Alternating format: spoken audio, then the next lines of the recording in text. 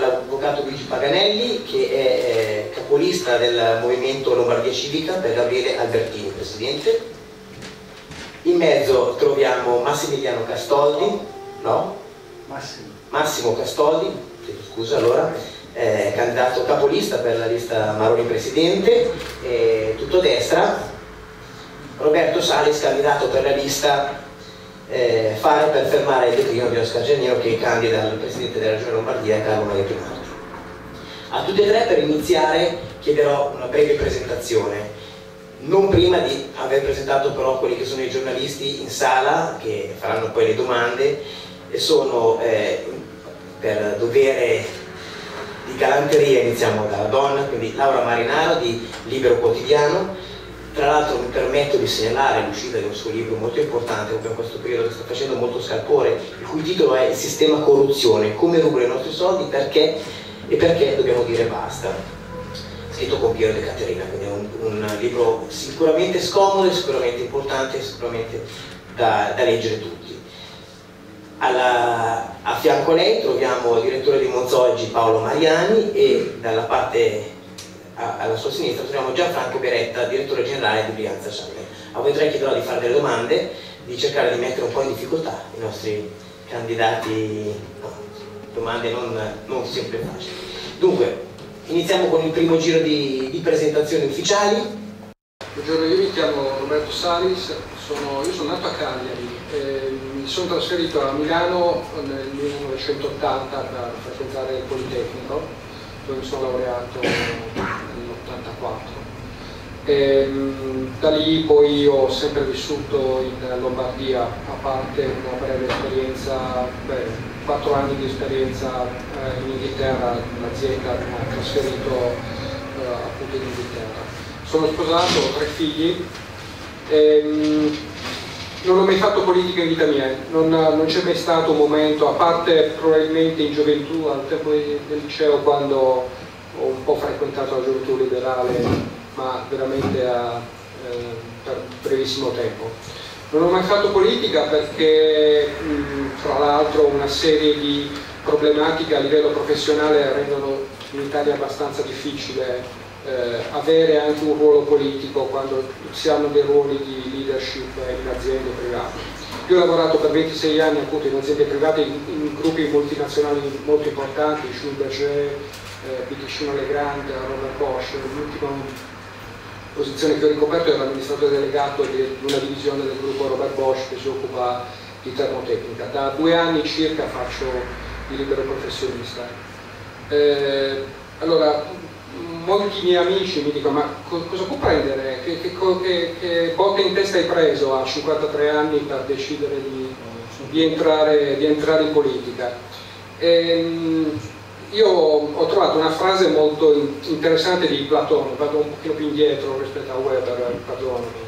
Eh, Platone diceva che eh, la punizione più elevata che ti spetta per non, non aver partecipato alla politica eh, essere governato da esseri inferiori. E, ehm, io penso che la società civile a questo punto abbia delegato in bianco abbastanza alla politica. È il momento per cui la, la società civile debba prendere in mano il pallino e debba eh, utilizzare l'esperienza che ha maturato nell'attività professionale, nell'attività di, di, tutti i giorni, eh, per guidare il paese. Io ehm, ho la fortuna di avere un figlio che si è laureato anche lui al Politecnico di Milano a 25 anni, deve compiere 26, è decisamente più bravo e più capace di me professionalmente, cioè ha, ha, ha ricevuto i voti più alti, eh, eh, avendo vissuto 4 anni in Inghilterra, parla fluentemente inglese, cosa che io all'epoca assolutamente non facevo ma il disastro della nostra società in questo momento è che eh, mentre io ebbi 10 proposte di lavoro all'epoca, mio figlio ne ha avute due e questa è una vergogna, questo è assolutamente una vergogna non per l'impatto personale del mio figlio, ma perché una società non può evolvere in una direzione in cui pregiudica il futuro delle nuove generazioni. Allora, buongiorno a tutti, eh, a quelli presenti, a quelli ci guardano e ci ascoltano.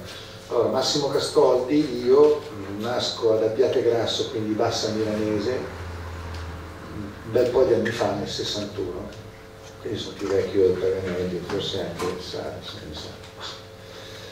E arrivo in Brianza, arrivo a Monza nel 2002, faccio il direttore sanitario degli istituti clinici Zucchi di Monza e di Calate Brianza e collaboro con eh, alcune associazioni, una del territorio abbastanza nota, come Cancro Primo Aiuto e una invece che eredito mi porto nel cuore da Milano, si chiama Bambini Cardiopatici nel mondo, quindi un po' di passione per dire, le necessità della, del mondo civile ce le ho e me le trascino da, dall'infanzia da Grasso anche un po' di voglia politica, nel senso che a tempi, tanto tempo fa, avevo costituito una lista civica, ma poi i tempi sono passati, eh, il lavoro mi ha portato un po' in giro e, eh, e c'è stata la necessità di eh, ristabilizzarmi in un luogo.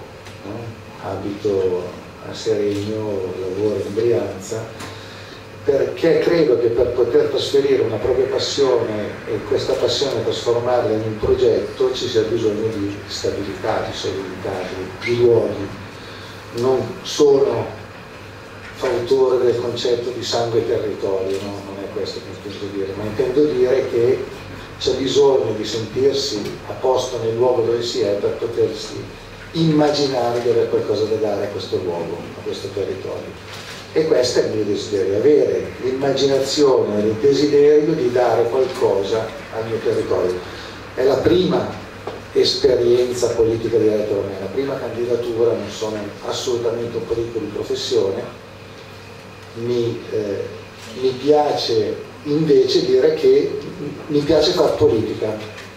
Ognuno di noi credo abbia il suo demone ispiratore, per queste cose c'è la sua frase storica. A me piace una frase di Weber del 19, quindi cent'anni fa, Weber diceva che la passione è Beruf, un termine, io so solo questo termine in tedesco perché il tedesco non lo conosco, ma Beruf è una parola che ha due possibili traduzioni e le comprende entrambe, quindi è per questo che mi piace, è bivalente, è molti, multivalente e vuol dire professione e vuol, vuol dire passione allora per me la politica è entrambe le cose, deve avere una profonda passione sottostante, è quella che spero di avere, e deve essere una professione nel senso che deve essere fondata su concretezza, razionalità, professionalità, capacità di trasformare le idee in qualcosa di concreto, in un progetto. Qualche progetto ce l'ho mio, qualcuno un po' più di me ne ha Maroni, e eh, perché nella lista civica Maroni Presidente, l'ultima cosa che dico in questo primo intervento, perché eh, pur non avendo mai appartenuto alla Lega, mi è sembrato che la uh, scelta di Maroni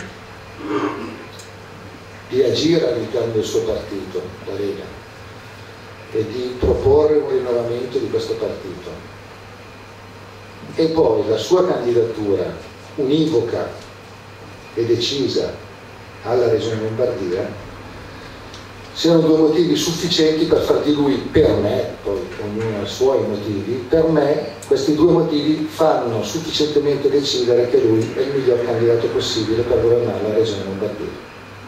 Altri penseranno diversamente, per me questa è una scelta fondamentale e i programmi, i progetti adottano.